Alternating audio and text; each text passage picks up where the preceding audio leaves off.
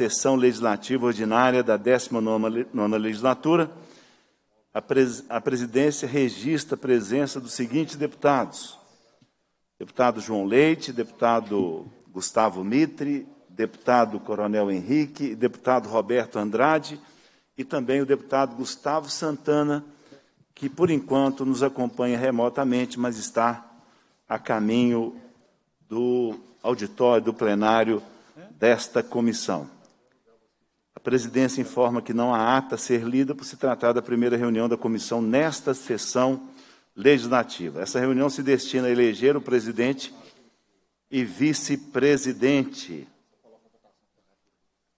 Registram-se as candidaturas do deputado João Leite para presidente e do deputado Gustavo Mitre para vice-presidente. Passo a presidência dos trabalhos do deputado Roberto Andrade para que ele possa fazer a votação para presidente. A presidência submeterá a candidatura por votação pelo processo nominal em conformidade com o artigo 259, combinado com o inciso 6 do artigo 9 do regimento interno. Será a lei do candidato que obtiver o voto da maioria dos membros da comissão. A presidência vai dar início ao processo de votação para o cargo de presidente. Em votação, a candidatura do deputado, para, deputado João Leite para o cargo de presidente. Como voto, o deputado Coronel Henrique. Senhor presidente, voto no deputado João Leite. Como voto, o deputado Gustavo Mitre. Eu voto também no deputado João Leite para presidente desta comissão. Como voto, o deputado Gustavo Santana. Senhor presidente, deputado Gustavo Santana vota no deputado João Leite, meu grande irmão. Como voto, deputado João Leite. Deputado João Leite vota no deputado João Leite. Eu também voto no deputado João Leite. Encerra a votação. De, proclama eleito deputado João Leite devolvo a presidência ao, já ao presidente eleito, deputado João Leite. Quero agradecer a confiança dos meus colegas, a confiança do deputado Gustavo Mitre, do deputado Coronel Henrique, do deputado Roberto Andrade, do deputado Gustavo Santana. Muito obrigado e sempre contando com todos neste sonho tão forte das nossas Minas Gerais, que é a retomada ferroviária. Registro com muito prazer a presença do líder Duarte Bechir aqui nessa audiência e queria, nesse momento, então, fazer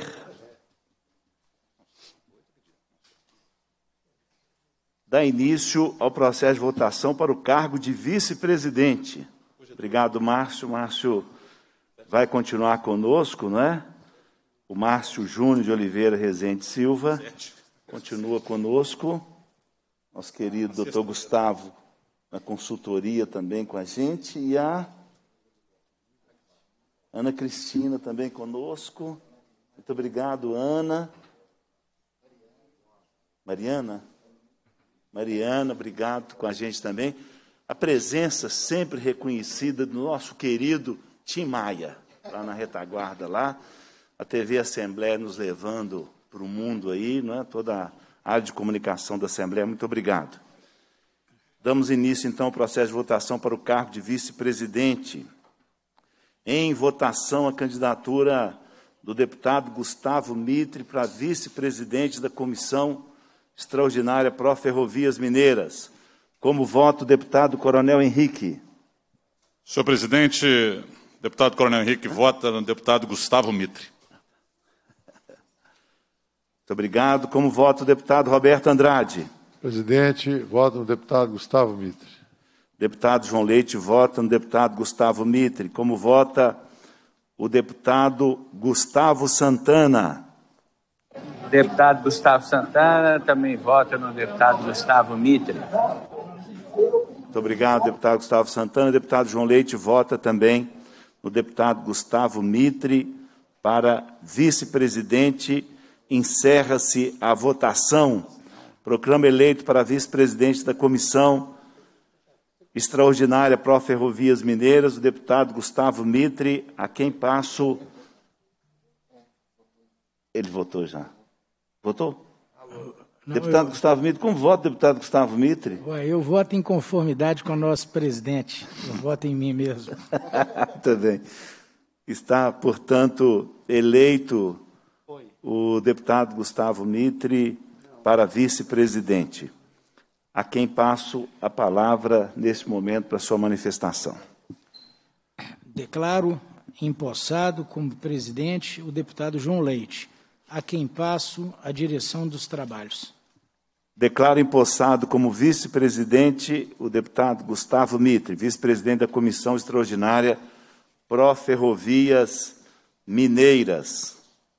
Indago ao deputado Gustavo Mitre se gostaria de fazer uso da palavra. Simplesmente dizer, João, que foi um prazer estar ao, ao lado do, de toda essa equipe nos dois primeiros anos de nosso mandato e que esta comissão tem se tornado cada dia mais importante para todos os mineiros. Né? Fizemos é, com, com Vossa Excelência à frente dos trabalhos uma gestão é, que vai mudar o, o, o marco ferroviário, já está mudando o marco ferroviário em Minas Gerais, é, com a emenda constitucional, agora com os aportes financeiros. Então, é, Vossa Excelência, meu amigo, e todos os, os companheiros desta comissão e, e os nossos servidores da, da, casa também estão de parabéns, juntamente com, com o governador Romeu Zema, né, que nos deu abertura pela primeira vez do Estado ter, inclusive, uma superintendência ferroviária, que é a, a excelente servidora Vânia Cardoso. Né? Muito obrigado pela confiança, João. Estamos juntos aí por trilhos por Minas Gerais. Obrigado, Obrigado deputado Gustavo Mitre. Na qualidade de presidente dessa comissão, designo como relator da matéria o deputado Roberto Andrade, a quem passo a palavra neste momento. Presidente João Leite, vice-presidente Gustavo Mitre, deputado Coronel Henrique, deputado Gustavo Santana, deputado Duarte Bexir, mais uma vez, com muita honra, sob a presidência do deputado João Leite, assumimos a relatoria dessa comissão. E hoje essa comissão de Pró-Ferrovias da Assembleia de Minas é uma referência, não em Minas Gerais só, mas no Brasil. Como se levantou um tema tão importante e tão abandonado abandonado, de fato, as nossas ferrovias e como isso foi é, colocado em discussão em ministérios, em secretarias, em outros governos, governo do Espírito Santo, do Rio de Janeiro, enfim. E sob a liderança deputado João Leite, que assumiu essa bandeira. E apesar de termos um coronel aqui, aqui quem nos comanda é o deputado. É, é o nosso, nós somos todos soldados aqui do, do nosso chefe, o deputado João Leite, com muita habilidade, com muita dedicação, ele tem dedicado grande parte do seu tempo aqui na Assembleia Legislativa é, em função dessa, dessa, dessa comissão. E nós aqui vamos, procuramos fazer a nossa parte e dizer que estamos é, muito felizes, João, da, da, da continuidade dessa comissão, principalmente com esses membros que estão aqui, que têm um compromisso com, com, com o tema e acreditamos. Sabemos que não é fácil, sabemos o estado em, em que as, as, ferrovias de Minas Gerais encontram, mas conhecemos a luta e vamos continuar a nossa, a nossa luta a ferrovias de Minas Gerais. Vamos colocar Minas de volta aos trilhos. Estamos colocando. Obrigado, deputado Roberto Andrade.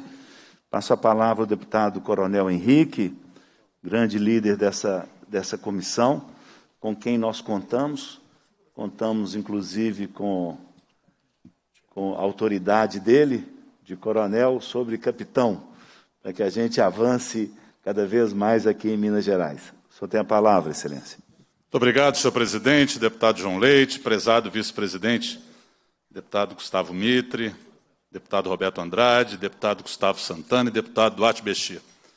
É uma alegria, presidente, estar aqui novamente agradeço a oportunidade e digo que esse tema realmente é um tema é, empolgante, é um tema que acaba sendo, inclusive, envolvente em outras atividades. Eu, há cerca de três semanas atrás, visitei o segundo batalhão ferroviário lá em Araguari.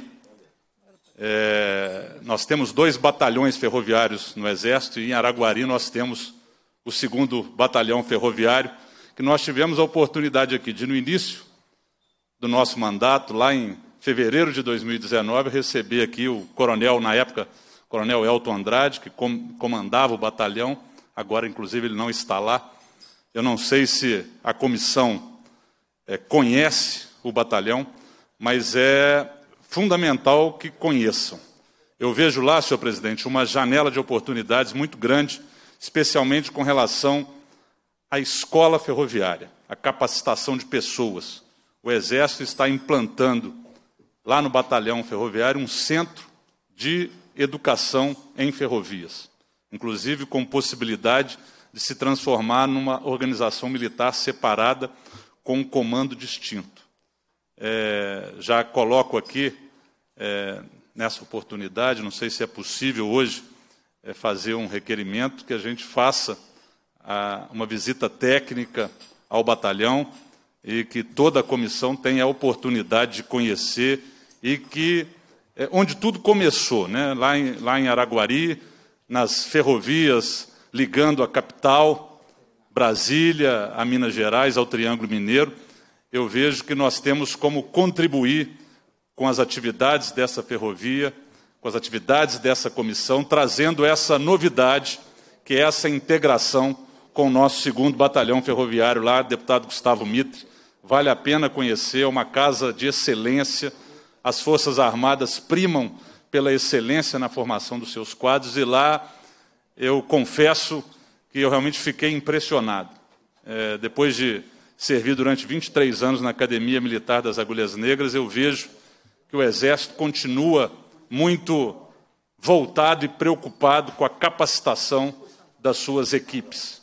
E o Batalhão Ferroviário pode cooperar com esse programa de devolver Minas Gerais e devolver o Brasil aos trilhos, que eu tenho certeza que está passando aqui pelas mãos, pelas cabeças e pelos corações dos integrantes dessa comissão, liderados aí pelo nosso grande líder entusiasta e que lidera pelo exemplo de quem, independente, se tiver sozinho na comissão ou não, nosso presidente está ali liderando. Conte com o nosso trabalho, presidente, e trago essa demanda para nós, na primeira oportunidade, apresentarmos aí uma possibilidade de uma visita técnica para que toda a comissão conheça o nosso batalhão ferroviário de Araguari. Muito obrigado, devolvo a palavra.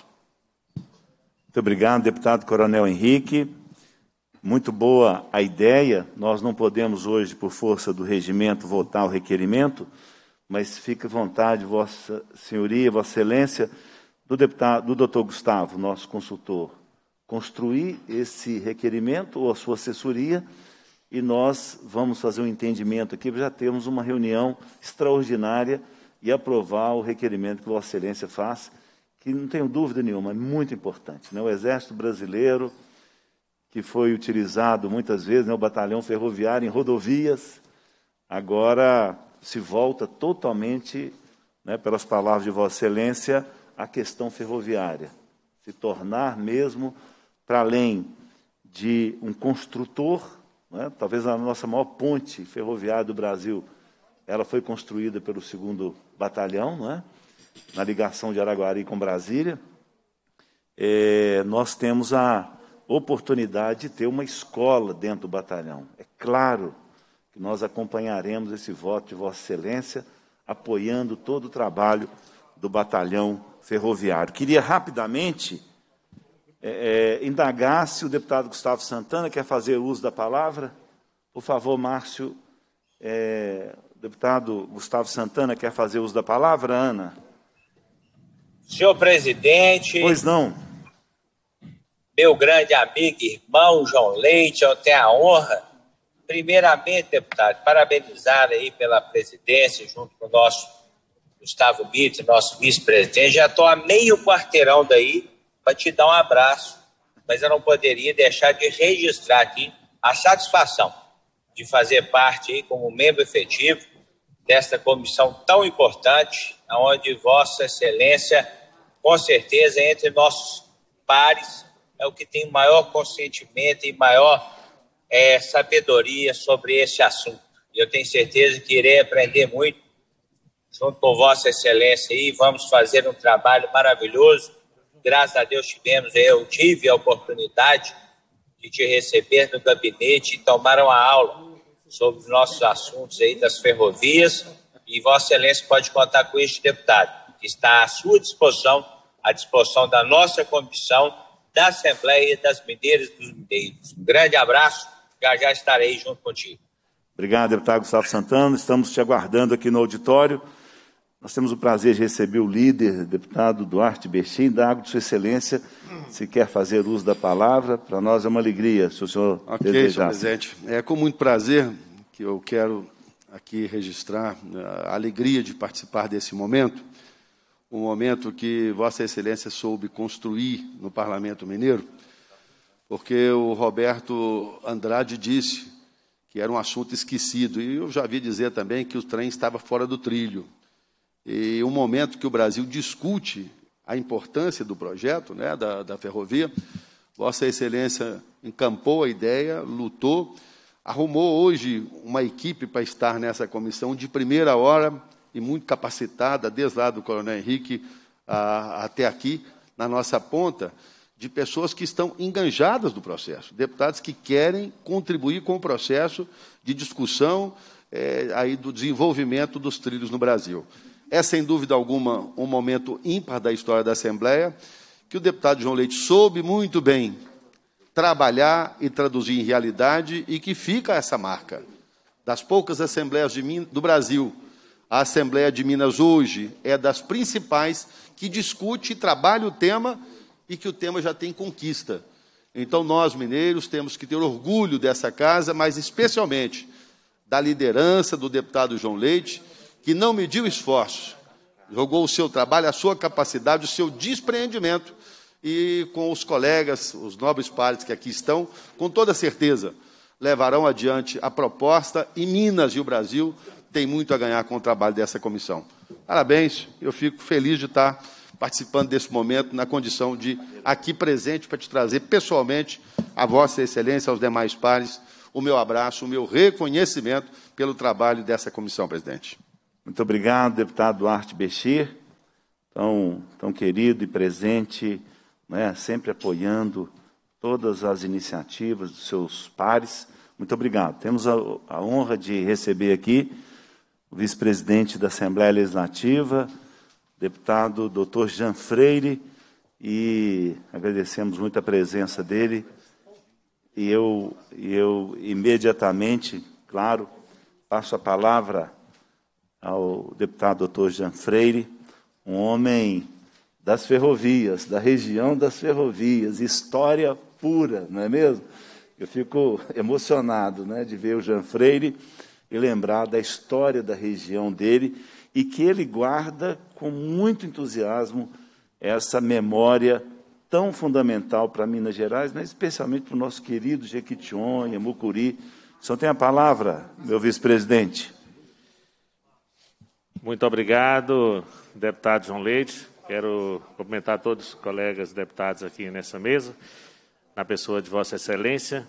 É, como disse os deputados que me antecederam, Vossa Excelência é, sem sombra de dúvida, o deputado conhecedor do tema é, nessa casa, mais que qualquer um de nós. Vossa Excelência também, deputado João Leite, tem história, né? Parece que o avô, né? É, trabalhou na área, então eu imagino é, as histórias na sua infância que você ouvia, né? É, e na nossa vida, a, o que nos move muito é, ou as causas são movidas pelo amor ou pela dor, e às vezes pelas duas situações. No meu caso, o que me trouxe para as lutas, as ferrovias, foi o amor e a dor. Né? O amor pela região do Vale do Jequitinhonha, região onde eu cresci, onde eu fui criado, é, que teve já uma ferrovia, como Vossa Excelência falou, a Bahia Minas, e a dor da história dessa ferrovia, de ter sido retirada pela ditadura militar, é, toda a ferrovia. Né? Essa luta de Vossa Excelência nessa comissão nos propiciou sonhar, nos propiciou conhecer pessoas interessantes que estão nessa luta, como o prefeito Silvio, né, de Caravelas, que é um entusiasta dessa luta também.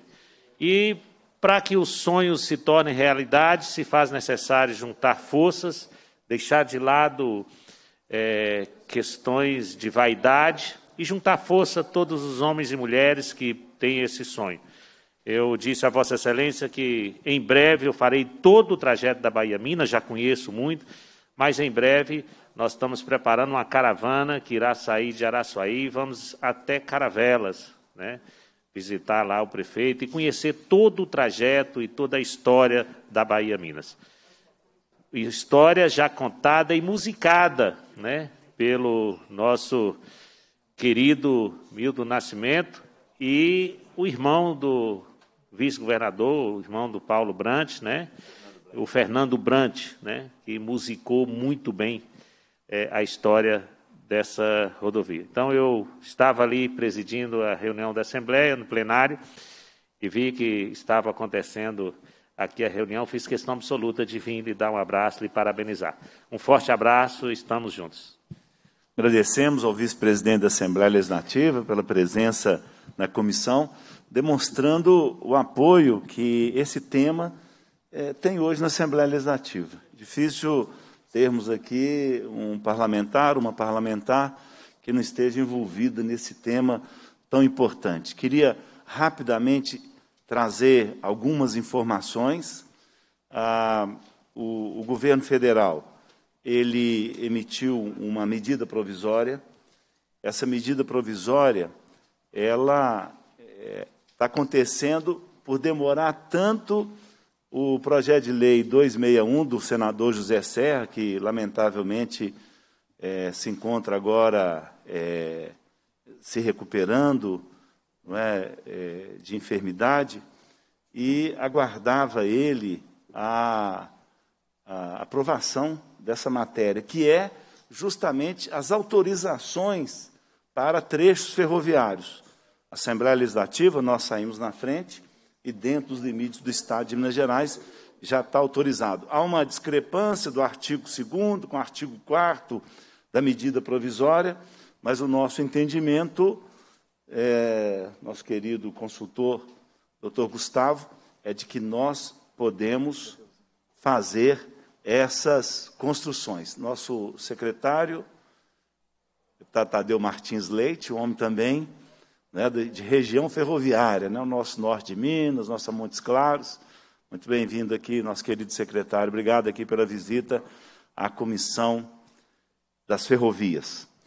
Então, nós é, estamos vendo, o deputado Gustavo Mitre trazia um relato hoje de Lavras, o investimento de Lavras, deputado Roberto Andrade, deputado Coronel Henrique, estão falando numa empresa de 200 milhões, não é, que vai transportar de Varginha a Lavras containers, 100 mil containers de café.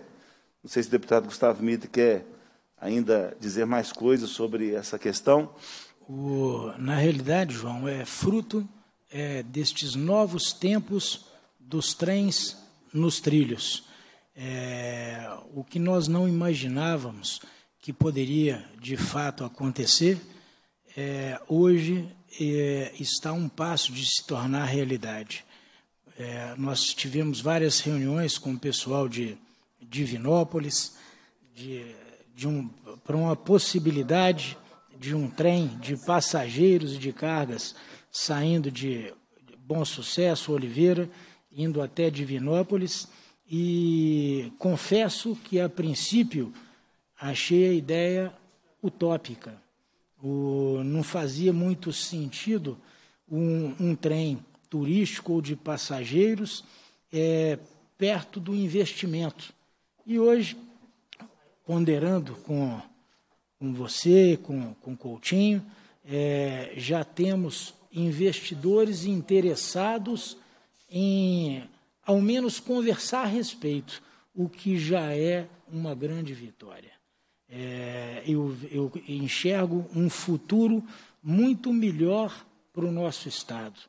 É, imagine só, é, como nós falamos há dois anos atrás, um trem de passageiro, de cargas, é, de São Paulo a Belo Horizonte, é, com várias para, passagens e paradas no, em, em vários municípios. Um outro para o Rio de Janeiro, o outro para a Bahia.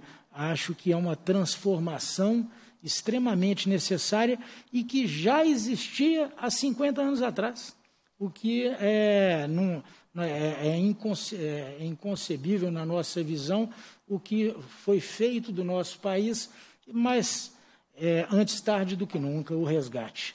É, e muito disso, é, praticamente tudo isso, com as suas digitais. É, nobre e excelente deputado João Leite, eu não canso de, de citar citá-lo como exemplo. Né? Eu acho que estamos fazendo um grande benefício para estamos fazendo parte da história que vai mudar o rumo do transporte ferroviário de nosso estado. Já está mudando. Parabéns e estamos juntos.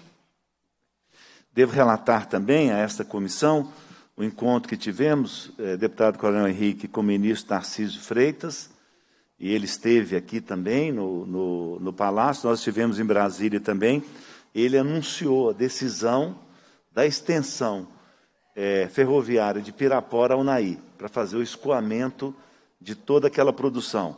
Essa semana recebi a visita do prefeito, eu, Gustavo Santana, do prefeito de Corinto, Evaldo, Evaldão, e ele muito entusiasmado, né, fazendo um terminal de carga lá, com essa expectativa, porque o trem virá de Unai né, e recolherá toda essa carga, todos esses grãos, passará por Pirapora, chegará em Corinto e de Corinto também é, há o sonho da retomada da ferrovia de Diamantina até Corinto. Seria o transporte, então, de quartzito, de pedras ornamentais, que seria feita a partir de agora através dessa ferrovia, dessa ligação de Diamantina a Corinto. É importante também é, relatar, a, é, hoje recebemos a presença de um representante de investidores. O desejo deles é um trem rápido de Belo Horizonte ao Rio de Janeiro. Eles já procuram a área para comprar onde seria o terminal, e eles querem fazer junto também a possibilidade de uma fábrica de dormentes, de trilhos. É dinheiro demais. É? Eu lembrei da minha netinha de seis anos, que quando ela vê uma coisa assim impressionante, ela olha para mim e fala assim: será, vovô? Será? Hoje foi mais ou menos o sentimento que eu tive na hora que eu ouvi falar em tanto dinheiro e de uma pessoa representando China, Japão. É isso que está acontecendo nesse momento. E eu queria dizer da minha alegria de termos esse coro tão qualificado, com lideranças tão importantes, e que é, dará, não é, o, o, ao Estado de Minas Gerais a segurança de tudo isso que irá acontecer no nosso Estado. Deputado doutor Jean Freire estava dizendo sobre o Jequitinhonha, e eu estou lembrando aqui da Zona da Mata, não é? Vendo aqui o deputado Roberto Andrade, deputado Coronel Henrique, e eu estava lembrando dos dois, das duas regiões mais pobres de Minas Gerais, Jequitinhonha e a Zona da Mata. Justamente as duas regiões que perderam o trem, perderam a ferrovia. É algo impressionante. Nós estamos vendo agora na região da Zona da Mata, sete pedais na BR-116. Isso é custo de frete, isso é elevação de frete, é elevação da cesta básica. Então, nós temos que lutar fortemente é, pela Zona da Mata, pelo Jequitinhonha, pela nossa Minas Gerais. Não é? Nós só temos essa situação. Responder com muita luta e essa comissão tem um papel importante. Vejo aqui com muito prazer o nosso líder, o deputado Bosco. Conversávamos agora, recentemente, é, fui procurado por pessoas de Araxá querendo um, um trem turístico da estação de Araxá até a estação de Itaipu. De Itaipu, que é um lugar, pelo que as pessoas relataram para mim, mas o Bosco tem mais dados, né? É um, uma região muito querida, não é? A, a, culinária, a gastronomia de Itaipu, e eles queriam esse trem. E eu imediatamente fiz contato com a VLI, Coronel Henrique. E o Coronel Azevedo respondeu: não, vai voltar o trem de Araxá para Uberaba. Já temos o trem de patrocínio Araxá, trazendo o calcário, importante para a nossa CBMM lá, e nós agora vamos ter é, a volta do trem para, para Uberaba. Então está aqui o líder Bosco, da nossa Araxá, e a gente quer ouvi-lo. Muito bem-vindo à Comissão de Ferrovias e membro suplente da nossa comissão e presidente da Comissão de Cultura. Por isso que ele está querendo levar lá para a gastronomia, lá em Itaipu. O senhor tem a palavra, presidente. É, boa tarde, caro deputado João Leite. É, ora, reconduzido à presidência dessa importante comissão, tendo como vice-presidente dessa comissão o deputado Gustavo Mitre, cumprimento também o deputado Roberto Andrade, o, também o coronel Henrique, e dizer, deputado João Leite, presidente desta comissão, que a primeira palavra nossa aqui é de reconhecimento e de parabenizar o seu trabalho, juntamente com toda essa comissão, que resultou num avanço extremamente importante, extraordinário, que nos permite, a partir de agora, a voltar a sonhar né, com as nossas ferrovias em Minas Gerais, com a retomada daquelas já existentes e que estão abandonadas há tantos anos, né, e de novas linhas a serem edificadas em Minas Gerais. É, Minas Gerais, através desse seu trabalho, através do trabalho desta comissão, com todo o apoio da Assembleia, com todo o apoio do nosso presidente Agostinho Patrus, nesta parceria com o governo do Estado, com a Secretaria de Infraestrutura, né, possibilitou Minas Gerais sair à frente. Né, é o único Estado, até o momento, que tem, de fato, um plano de gestão, um plano, de, um plano diretor de ferrovias junto ao governo federal. E eu não tenho dúvida que o fato de, de Minas ter saído à frente, né, com certeza nós vamos sair à frente também na execução de todo aquele plano que foi apresentado por você, juntamente com o nosso governador Romeu Zema, em Brasília. Então, a expectativa nossa é essa, e nós queremos aqui, é, é mais uma vez, reconhecer o teu trabalho, a sua garra, a sua determinação, porque a gente sabe que não foi fácil. Foram inúmeras reuniões, né, participamos de poucas delas, mas a gente sabe que foram inúmeras e exaustivas reuniões para que a gente pudesse ter um plano, a exemplo que temos hoje, junto ao governo federal. Com relação à região do Alto Paranaíba e Triângulo Mineiro, também quero aqui fazer um agradecimento, porque foi uma região que não ficou fora desse plano.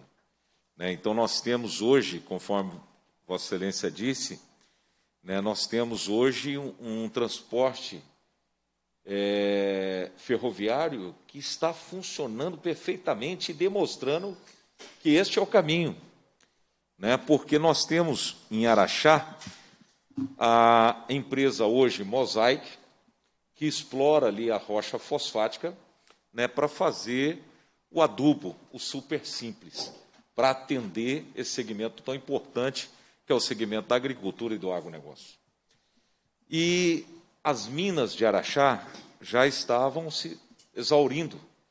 E essa empresa, né, antes era a Vale, né, que depois vendeu-se essa estrutura, tanto da unidade Araxá como a unidade Tapira, para a Mosaic, né, essa empresa tinha dias contados, em virtude da mina já estar nos finalmente.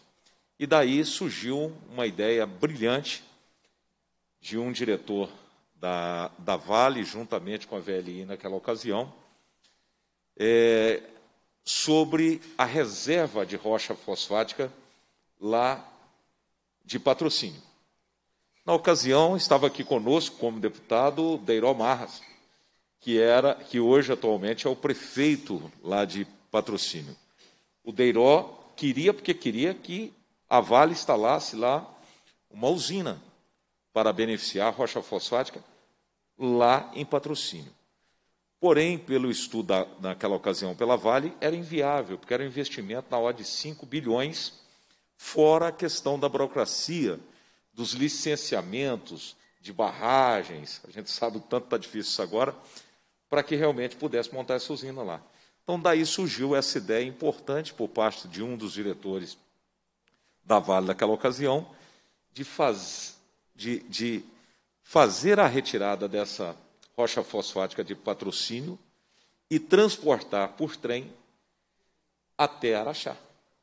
E a ideia foi para frente, vingou, né, foi feito uma, um aprimoramento na linha férrea que estava abandonada há muitos anos, entre patrocínio Ibiá e de Ibiá Araxá. Hoje, presidente João, João Leite, nós temos três trens indo diariamente para Araxá levar rocha fosfática. E isso, além de mostrar a viabilidade deste transporte, né, de viabilizar a exploração dessa rocha fosfática, fosfática lá em, em patrocínio, que está gerando hoje, só em patrocínio, mais de 600 empregos, deu uma sobrevida à unidade de Araxá, da unidade da Mosaico.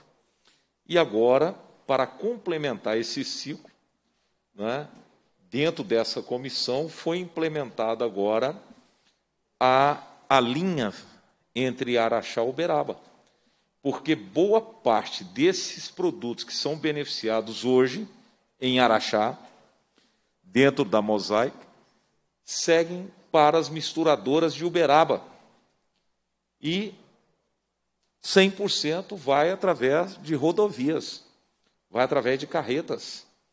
Então, a partir de agora, da retomada dessa linha Araxá-Uberaba, né, nós vamos aprimorar esse transporte, né, baixar custo, tornando o produto lá de Araxá mais competitivo, né, e vai nos possibilitar a retomada aí do transporte de passageiros. Então, há um sonho, um desejo muito grande que eu quero aqui até agradecer e farei pessoalmente ao pastor José Gino, que fez essa solicitação a Vossa Excelência, e ele reportou muito bem. É um sonho antigo de Araxá a retomada né, do transporte por trem de passageiros. Né, Araxá tinha essa linha até Uberaba, a, vindo também para Belo Horizonte, e, e, e é uma, uma questão que é muito relembrada pelos é, pelas gerações passadas.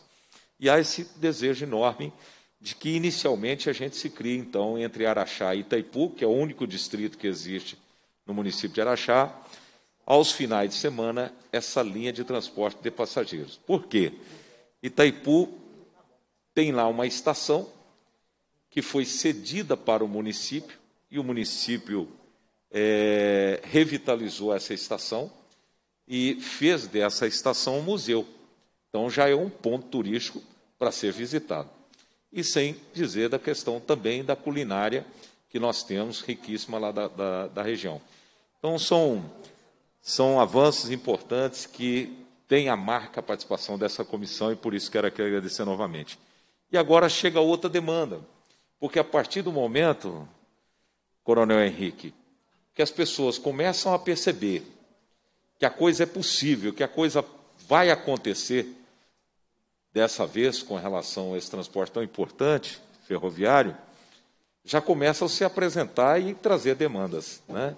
Então, nós já temos uma demanda que eu gostaria, presidente, que fosse aprovado aqui nesta comissão, um requerimento, não hoje, porque hoje nós temos uma pauta específica, que foi a eleição, mas que na próxima reunião dessa comissão só possa apreciar um requerimento para que nós possamos realizar uma audiência pública para tratarmos sobre a questão do transporte de cargas e de passageiros, em especial de Campos Altos, Ibiá, Araxá. E, é claro, incluindo patrocínio. Por quê? Porque ali nós temos uma região que tem um potencial muito grande, é uma região que é, que é um verdadeiro celeiro na produção de grãos e também do café, né, do tanto o café do Campos Altos como o café de patrocínio. Né, e nós temos várias misturadoras agora se instalando naquela região. Então, portanto, justifica a gente promover esse debate é, no Alto Paranaíba que esse debate possa ser aqui no âmbito da comissão, aqui na casa, se for o caso, se for possível, presidente, nós possamos fazer esse debate lá na região, até para que a gente tenha a oportunidade de visitar a estrutura existente lá é, da, da VLI, que existe hoje, é uma estrutura excelente em Campos Altos, em Araxá, e existe uma estação também, que é uma estação regional, né, muito bem estruturada dentro do município de Ibiá. Então fica essa proposta para uma próxima oportunidade, mas no mais, muito obrigado e parabéns. Muito bem, muito obrigado. São grandes vitórias, deputado Bosco, parabéns. E apresente o requerimento, né? Nós vamos fazer, chamar uma extraordinária para a próxima semana e votaremos o seu requerimento, iremos com todo prazer. Gostaríamos de ir de trem, né? mas por enquanto nós vamos pela 262, 262. mesmo, né? Para chegar até lá.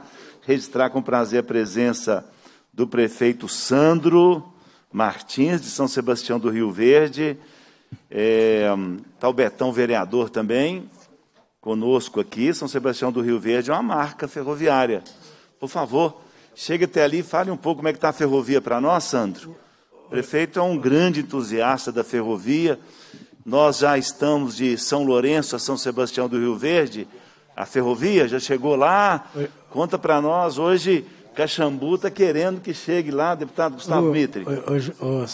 João, hoje, por coincidência, no nosso retorno aos trabalhos, eu recebo a visita aí do, do nosso prefeito Sandro, do vereador Betão, e eu tive a oportunidade, João, de fazer um passeio piloto do trem que será inaugurado entre São Lourenço e São Sebastião do Rio Verde. Sensacional, hein? Agora faltará apenas um trecho que vai, vai passar por Itaiandu. É, e depois já temos o trecho que, tem, que já tem trem em Passa Quatro. Então, o Sandro ele é, tem uma importância histórica para o turismo no nosso estado, de ferroviário no nosso estado. E vale a pena reiterar, João. Eu me lembro do início dos nossos trabalhos, eu falava com o Sandro, cheguei a te falar também, falar com outros deputados, se conseguíssemos inaugurar essa obra do Sandro, só ela, somente ela, já seria um grande ganho para a nossa comissão. E olhem as demandas que estão chegando agora de todo o Estado. Naquele momento, há dois anos atrás, o único trem que tinha chance de ser inaugurado era o trem do nosso querido Sandro, que é um, é um, é um baluarte aí do, do nosso Estado na ferrovia. E hoje já vem nos falar de quando que vai ser inaugurado com a nossa presença é, esse trecho ferroviário. É, boa tarde a todos. Boa tarde, senhor presidente João Leite, Gustavo Mitre. Boa tarde. Boa tarde a toda a mesa. Boa tarde a todos aqui presentes. É com satisfação, né, executar uma obra é, da, do porte para o meu município, uma obra de 7 milhões e meio, é, de um trem turístico, a qual liga a Estância Mineral a, de São Lourenço à cidade de São Sebastião do Rio Verde, nas terras altas da Mandiqueira. Um trem turístico ligando dois circuitos, dois circuitos importantíssimos no sul de Minas. É, haja visto que o trem, como nosso amigo acabou de falar, né, senhor deputado, é importantíssimo. Araxá, eu sou produtor, é, uso adubo, e é importantíssimo, o trem de passageiro é importantíssimo, e também o trem turístico. Um trem turístico, ele vem trazendo na nossa região hoje, agregando é, hotel, pousadas e a culinária, e está vindo alavancando o turismo. Com essa pandemia, nós ficamos praticamente sem condições nenhuma de ativar e pôr o trem para, funcionar. Hoje estou com 95% e creio que com 60 dias a obra já está pronta para a gente podermos inaugurarmos. Então, eu estou aqui dizendo com muita satisfação, obrigado pela essa comissão que me apoiou, que eu passei momentos difíceis, a qual os senhores me ajudaram muito, e, e venho dizer, o trem é do passado, mas ele está chegando com um futuro brilhante para o Brasil. Então, agradeço a todos, viu?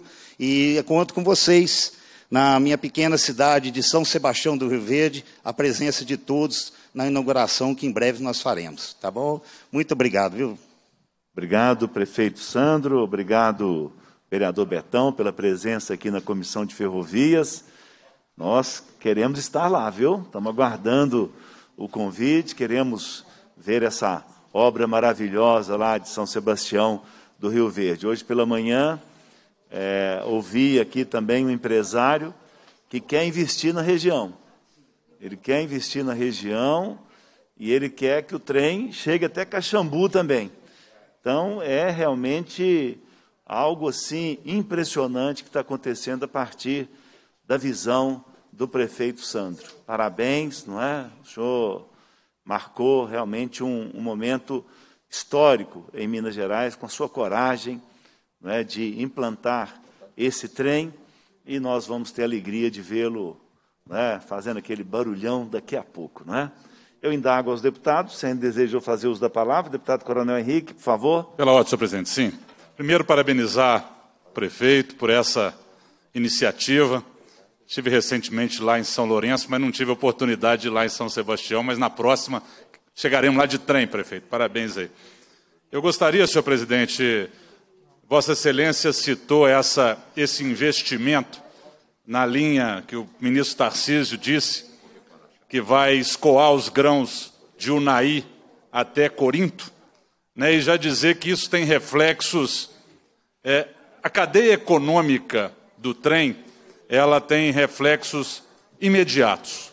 É, ontem o governador Romeu Zema anunciou um investimento da maior fábrica de ração animal do Brasil e mais moderna, uma fábrica que vai ser construída pela CCPR, a Cooperativa Central dos Produtores Rurais, e o local escolhido foi Curvelo. E já certamente, deputado João Leite, prospectando essa diminuição do custo Brasil que o nosso transporte ferroviário de cargas permite. Então, uma fábrica de ração animal que usa o milho, usa a soja, usa grãos, é, esse grão vai chegar lá do nosso centro-oeste de forma mais barata na região central do Estado. E todos esses investimentos, e saio daqui hoje, presidente, feliz de ver o nosso prefeito dizendo desses investimentos de mais de 7 milhões de reais lá nesse circuito turístico. Ontem, esse relato de investimentos de 139 milhões nessa fábrica em Curvelo. Isso é reflexo da credibilidade que Minas Gerais e o Brasil está alcançando no mundo.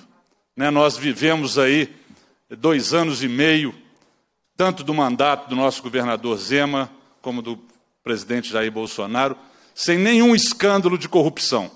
Hoje, o investidor internacional, aquele que quer trabalhar e aquele que quer colocar o seu recurso, ele não vai em cima das narrativas que a mídia muitas vezes tenta emprestar e colocar no Brasil uma marca que não é verdadeira. Tudo isso é reflexo de um trabalho sério, de um trabalho de uma equipe de ministros, e o senhor citou aí o ministro Tarcísio, qual eu tenho muito orgulho de sempre dizer que é capitão do Exército Brasileiro, formado na Academia Militar das Agulhas Negras, escola que eu tive a honra de servir durante 23 anos da minha vida. Quando o ministro Tarcísio era cadete da arma de engenharia, eu estava lá como primeiro-tenente. Então, ele carrega todo esse preparo, não só o preparo técnico, profissional, mas o preparo moral, o preparo dos valores de alguém que serve, que serviu e continua servindo ao Brasil. É o sentido da palavra servir que eu acredito que Vossa Excelência e todos os membros dessa comissão traz.